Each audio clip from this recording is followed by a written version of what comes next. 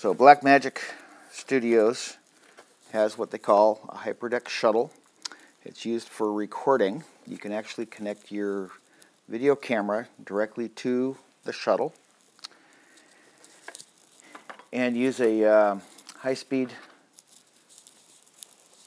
um, SSD drive in, in it. You do have to, there are limits on what you can use. Um, some of them don't work, some of them work great. So you're going to probably have to spend a little money to get a really good one like I did. Um, right now, I'm looking more for quality stuff, and I'm just now filming with the Canon camera. I'm not using the HyperDeck.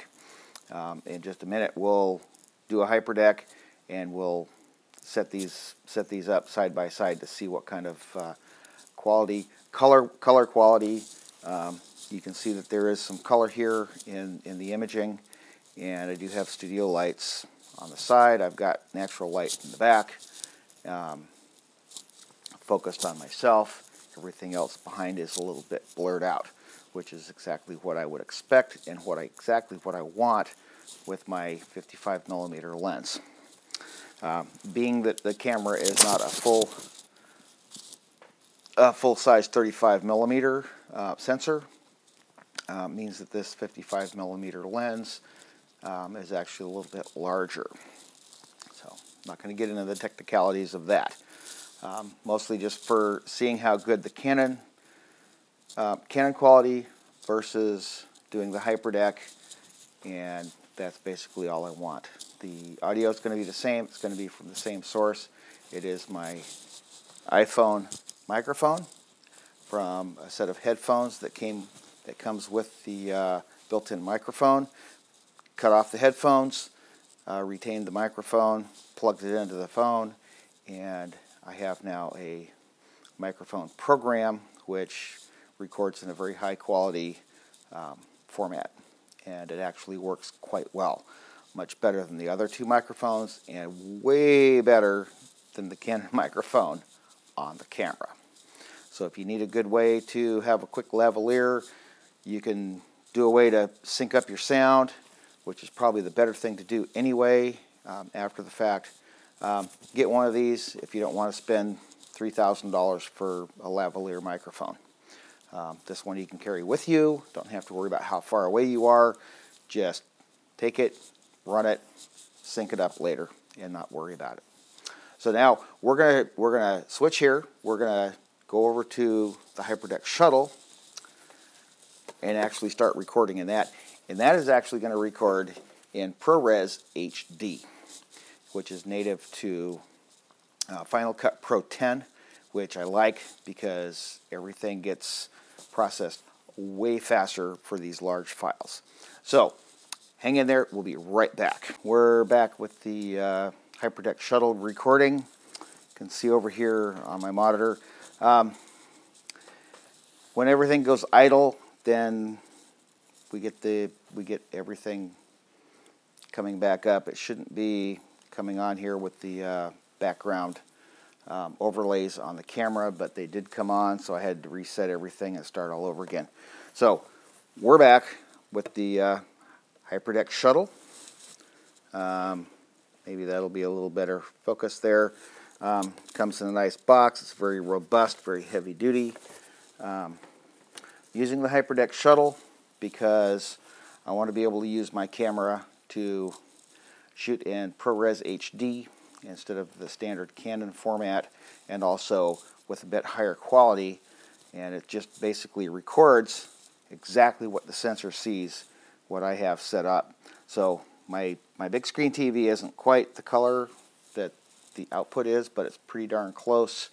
Um, I like it a lot and mainly I'm just looking at the color and the quality of the two side by side. So I'm going to check everything on the computer. We're going to run it through Final Cut Pro 10 and do a couple quick little setups and see which ones look a little bit better versus the others. And um, and I'm hoping that uh, I can get everything all put up put up together and then clip and cut and connect my uh, audio and video together so I can clip and cut and move things around uh, to show you guys the uh, the differences between the two. The audio should be the same. What I'm using is my iPhone.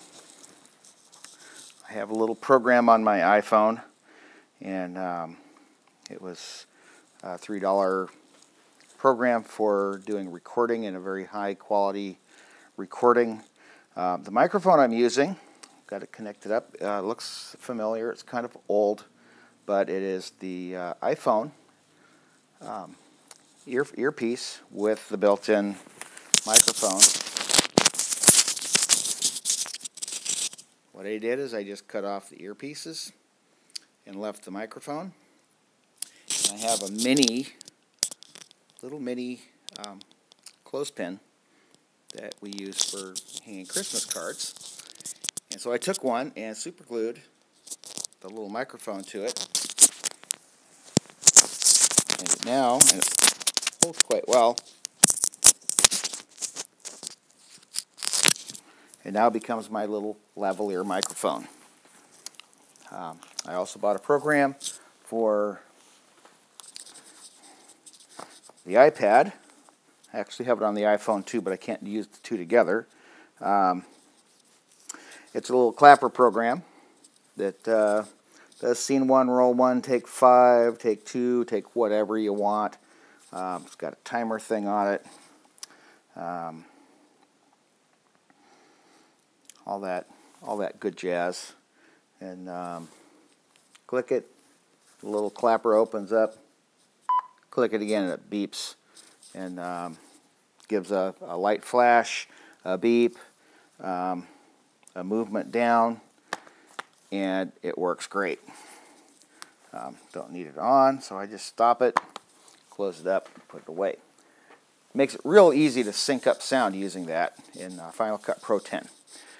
So anyway, I just wanted to show that, that you can use the um, HyperDeck Shuttle with a Canon camera, even a lower end, lower quality one like the T3i, um, and get pretty good quality video as long as you have some good glass for your camera.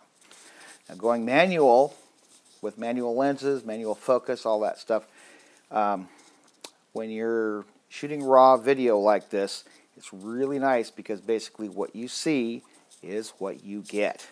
So you can set your lenses, you can set your apertures, you can do all that kind of stuff, set everything manual, and then play with your ISO settings a little bit, and comes out pretty good. And I like it a lot. So I like playing with manual lenses anyway. So the automatic lens wasn't quite as good a quality as this, so I went to a manual lens and my Canon T3i with my Blackmagic HyperDeck Shuttle 2 as the recording medium.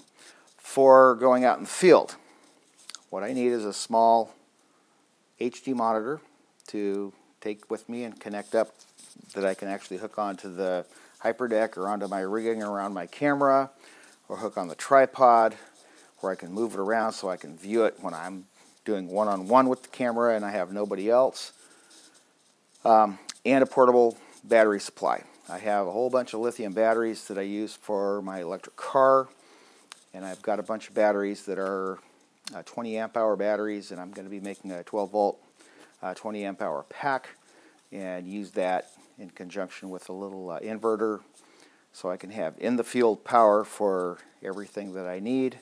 Um, it'll actually be very lightweight, and um, easy, easy to take out in the field with you if you need to go. So if I want to go off on the end of my property, if I want to go up in the mountains, I can take all this rigging with me and get some really good video. So that's it. That's what we're doing. This is the review of the HyperDeck Shuttle. I like it a lot. Make sure though, if you see your overlays on your camera or on your field monitor, it's going to record that too the way you get rid of it is put Magic Lantern on your camera. Use Magic Lantern to turn off the overlays when idle. So once you get everything adjusted, get your focus, everything set up, it can go idle. And since I have the manual lens, what's cool is I can hit my focus button and it thinks that I just did something and then it fixes the issue. Everything goes away. And um, it works out good. It's not a difficult thing to do. But got to have that external monitor. So I'm hunting for you know, little, little nine inch monitor um, that's HD quality. So I can take it with me, power it with my external power pack. Anyway, there you go. Hope you guys like it. And uh, ask questions. I'll be happy to answer